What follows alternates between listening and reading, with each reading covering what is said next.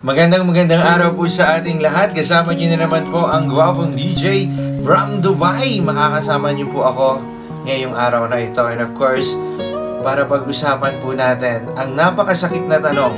Pero alam ko, may kirot sa tanong na ito. Kapag narinig mo ang tanong na ito sa partner mo, ano kaya ang masasabi mo? Kasi may nagtanong ito sa akin at ipinadala niya sa akin ang tanong na ito kasi marami siyang pinagdaanan sa partner niya na asawa niya po ngayon. Kaya ang tanong niya, kung bibigyan ka ng chance na palitan ang asawa mo, papalitan mo ba? Yan ang tanong ng nag-iisang Art from United Arab Emirates. Maraming salamat po, Sir Art sa napakagandang tanong na ibinigay niyo po sa amin. And of course, for me po, uh, sa pinagdaanan ni Sir Art, kasi habang nag-uusap kami, nagkaroon kami ng kwentuhan, uh, hindi po biro yung pinagdaanan ni Sir Art. Kaya hindi ko maisip kung bakit sumagi talaga itong tanong na ito. Siguro dahil sa kanyang sitwasyon or pinagdaanan sa kanyang partner. Kasi for almost 25 years of their married life, pumasok sa kanya ang tanong na yan. Kasi nga, wala namang perfecto talaga sa buhay mag-asawa. Sir Art, I'm uh, 25 years being married, but not happily married sa partner niya. Kasi yung partner niya nagkaroon ng problema, uh, nagkaroon siya ng ibang minahal, so na nalaman niya, so kaya nga yung tanong pumasok sa kanyang isipan, and sabi nga ni Sir Art sa akin, sa dami ng pinagdaanan niya sa pagtitiis, sa pagmamahal na ibinigay ko sa kanya, hindi pa ba sapat yung tunay akong totoo na nagmahal sa kanya, inalagaan, iningatan ko siya, pero hindi niya pinahalagahan yung pagmamahal na ibinigay ko sa kanya. Ang sakit lang host nung pinagdaanan ko sa partner ko for 25 years na inakala ko na siya na yung makakasama ko at the end of my life na siya yung mag-aalaga sa akin kapag matanda na ako. But nagkamali ako na hindi pala siya. Kung isang pagkakamali na masasabi kong it's a big deal for me. Kasi ako iniwasan ko ang lahat na magkamali pagdating sa kanya kasi isa siyang tao na iningatan ko, minahal ko, inalagaan ko for 25 years. At the end, dahil lang sa ibang tao, or dahil nagmahal ka ng iba, ipinagpalit mo ako sa kanya. Ang sakit lang host nung tanong na yon, kung bakit lumabas sa akin yon, kung mabibigyan ako ng chance na palitan ang asawa ko, papalitan mo ba? Ang sagot po ni Sir Art, papalitan niya ang asawa niya. Kasi for 25 years of their married life, hindi naman siya naging masaya eh sa buhay mag-asawa niya kasi yung partner niya, nalaman niya, may iba pa palang partner or may kulasising tinatago. So masakit yon sa part ni Sir Art. Kasi nagmahal lang naman siya ng tunay at tapat. Pero bakit ba? Bakit maraming makate? Hindi magstay sa isa? Hindi ba pwedeng isa lang yung pwede mong mamahalin? Bakit kailangan mo pang humanap ng iba? Nakatagpo ka na nga eh, ng tamang tao na para sa iyo. Si Sir R, tama siya sa iyo. Pero bakit nagawa mo pa rin siyang lokohin at gaguhin? Ibinigay naman as a responsible person sa pagkakakilala ko kay Sir R. He's a very responsible person. Ibinigay niya ang lahat sa kanyang pamilya. But tinraidor mo pa. And ang masakit guys, kumpare niya pa ang tinalo. Bakit ganun, no? Ayun ba talagang meron sa buhay natin? Kaya ang sagot ni Sir Art nung sinabi niya sa akin, hindi agad siya nag-hesitate sa tanong ngayon. Ang sabi niya, papalitan ko ang asawa ko. Not deserve yung pagmamahal na inalay ko. Hindi ko man alam yung buod na istorya na meron ka, Sir Art pero yung kwento na iniwanan mo sa akin, tumatak sa puso ko. Ari po, ang bawat isa ay mayroong pagkakamali sa isang relasyon or pagsasama sa buhay ng isang mag-asawa. But ang kailangan, we need to understand both of them. Unawain ng bawat isa. Kasi yung tanong na yun, napakasakit pong pakinggan kapag itinanong sa'yo ng asawa mo, ng partner mo, ang sakit ng tanong na iyon. Pero that was the reality na kung bakit nasasabi ng iba na papalitan nila kasi hindi na sila masaya. Kung bakit hindi sila masaya na may nangyayari ng iba. Pero sabi ko nga, sana kapag nagmahal ka, yung tunay at tapat na tao ka sa taong mamahalin mo. Napakaiingatan mo yung pagmamahal na yon na meron na ibinigay sa inyo, both of you. Saksi sa inyong pagmamahalan ang kalangitan. And of course, ikinasal kayo. So ibig sabihin, pinag-isa kayo. Pinagsama. So dapat, kung ano man yung mga hindi pagkakaunawaan, para huwag mong mapalitan ang asawa mo, sana napapag-usapan. Kasi, yung asawa mo, it's your choice na makasama mo siya. Hindi ka naman niya pinilit or hindi ka naman napikot para pakasalan mo siya.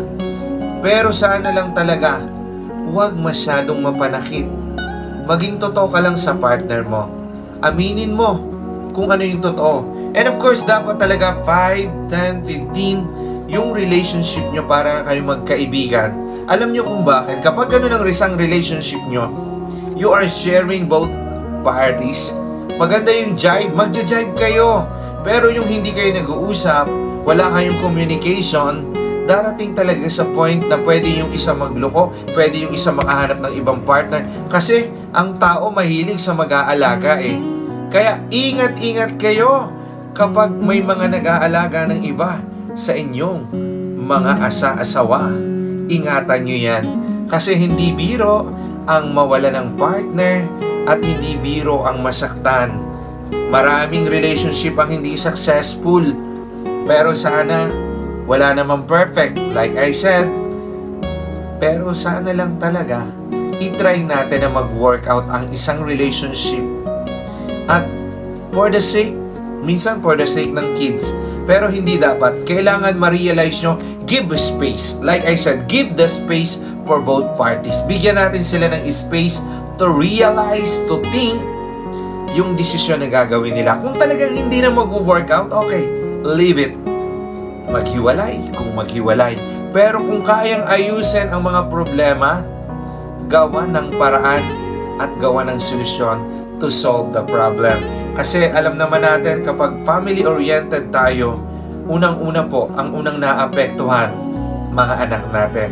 Wala mang perpekto sa mundong ito pagdating sa couple, sa buhay ng isang mag-asawa. But if you are sharing both parties, like I said before, makakatulong po yan sa inyong dalawa. Kasi yung pagsasama habang tumatagal yan lalong tumatamis dapat. Eh minsan eh, habang tumatagal nawawala yung saya, lumulungkot. Parang ayaw mo na nga minsan makita yung partner mo eh. Kasi nagsawa ka na sa pagmumukha niya. Yun yung nagiging consequence. Kaya dapat, yung partner inaalagaan, both of you, alagaan ng bawat isa. Mahalin ng bawat isa. Kasi parehas kayong pinagbuklod, parehas kayong pinagsama, parehas kayong pinagtagpo, and may darating lang na bago, ipagpapalit mo na sa iba. Isip-isip lang din, panandali ang aliw, panandali ang kaligayahan. Hindi naman yan makakatulong sa iyo. Magiging sakit mo lang din yan ang ulo. Think wisely before we do something na makakasira sa isang relasyon bilang isang mag-asawa, dapat ikay tunay at tapat at pinahahalagahan mo yung pagsasama na meron kayo. Walang perpektong relasyon, lagi po natin yung tandaan. But God is always with us. Ano man ang hindi natin napapagkaunawaan sa isang relasyon, pwede po nating idulog kay Lord. Wala pong imposible sa Kanya. He will listen with us. Pakikinggan niya tayo. And magkakaroon tayo ng magandang wisdom and magkakaroon tayo ng tamang answer for all the problem na meron po tayo. Yan guys, yung tanong na yon kung para sa akin, hindi. I will not change na ipagpalit ang aking asawa. Kasi, honestly guys, he, I've been asking for prayer before I married my wife. So talaga bago ko siya pinakasalan, itinanong ko kay Lord. And I asked to Him to guide me kung sino talaga yung tamang tao na para sa akin. And I foundly found yung tao na yun na mamahalin ko. Marami mo kaming pinagdaanan, maraming trials na dumating sa akin buhay. Maraming babae na pumaligid sa akin. But, lagi kong iniisip, yung pagkakamali na minsan na sana hindi mo na dapat maulit. Kasi, yung family ko na meron ako, I want always be intact. Kasi mahal na mahal ko yung pamilya ko. And of course, I love my wife. Kaya nga siya yung pinakasalan ko eh. Hindi ako kailangan na humanap ng iba nang wala sa kanya. Ang kailangan, pag-usapan namin yung mga bagay na mga problema na meron kami. Before, hindi ganun ako. But now, sabi ko nga, darating din pala sa point ng buhay natin. Yung mga pagkakamali natin, kailangan na nating iwakse. And baguhin natin. It's time to change na kailangan may pagbabago sa buhay natin. Kaya yung tanong ngayon para sa akin, marami kaming pinagdaanan, alam ko, nagtiis din siya sa akin. Kasi alam niya naman eh kung sino si Dennis. But truly love yung pagmamahal na meron ako sa asawa ko na yon. Kaya inaalagaan ko at iniingatan ko na masira yung tiwala na ibinigay niya sa akin. Maraming dumating pero yung pagmamahal sa asawa ko, kailanman hinding hindi mapapalitan sa puso ko. She is one of my great love siya yung taong sabi ko, eto yung taong makakasama ko hanggang sa pagtanda ko. Siya lang yung pwede kung mahalin. Wala nang iba. Kasama yung anak ko. Siya lang ang mahal ko na talagang pinakaiingatan ko. And sabi ko nga, this is answered prayer na ipinagkaloob sa akin ni Lord. Kaya maraming maraming salamat uh, kay Lord for giving me the right person to find out kung sino talaga yung makakasama ko sa habang buhay. Kami man ay pinagbuklod, but we are still together na mahalin ang bawat isa. Patuloy na lumago sa mundong ibabaw sa buhay na meron kami, masayang mabuhay sa mundong ibabaw. Be thankful kami sa mga blessing na dumarating sa amin. Kaya kung ipagpapalit, no! Hinding hindi ko siya ipagpapalit kahit kanino. Biyahil siya yung tao na sobrang minahal ko at ibinigay ang respeto at tiwala sa akin. Muli po, maraming maraming salamat and thank you so much sa hashtag natin kung bibigyan ka ng chance na palitan ang asawa mo, papalitan mo ba? Masakit ang tanong, pero sana before you did, pag-isipang mabuti. As a prayer, manalangin kay Lord and will guide us. Maraming salamat and God bless to each and every one of us.